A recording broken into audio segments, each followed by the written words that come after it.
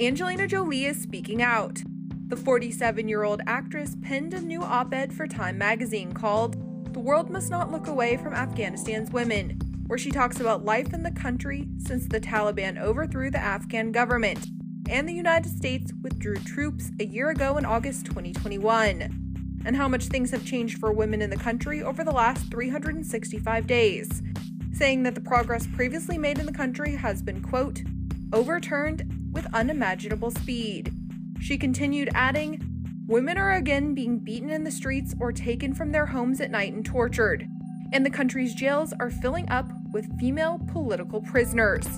There are reports of girls being kidnapped into forced marriage with Taliban leaders. As a woman and mother, it torments me to even imagine what it must be like for Afghan families, especially those who lived through the Taliban era of the 1990s, to feel so powerless. The mother of six's powerful message also wrote Peace built on the oppression of women is no peace at all, but a society constantly at war with itself.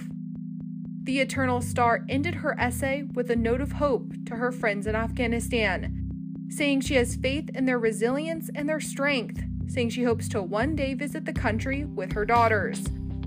I dream of visiting with my daughters, making friends, traveling around your beautiful country, and seeing you free to determine your own future.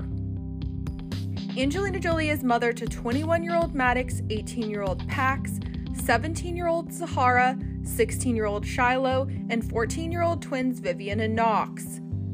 She has frequently used her platform to speak out for causes and situations she finds important to raise awareness for, including advocating for victims of domestic abuse in Washington, D.C.